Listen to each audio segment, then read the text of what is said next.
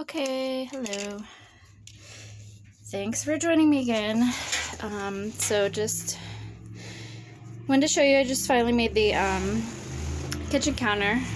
This is pretty much attached. I can't remove it unless I get some weird tools.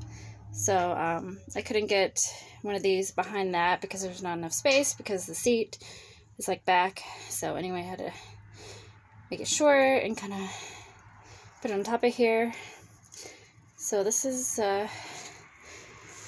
the first part of it done, and then obviously you'll have to um, put a sink in it and stuff. And uh, I'm gonna cover the edges with something, I don't know. Uh, maybe wood or fabric. I don't know. I don't care.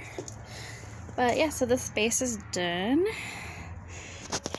Um, yeah, it turned out okay. Um, that all crap is going to be covered up, so it doesn't matter, and I'm going to be the only person hanging out in the van anyway, so I don't care if it looks like poop.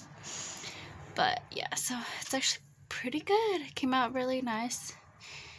Um, I just kind of went about it as I, I just kind of did it as I went, so I didn't really have a plan. yeah. So that's my project for the day. It's 11 o'clock and it's super hot already, so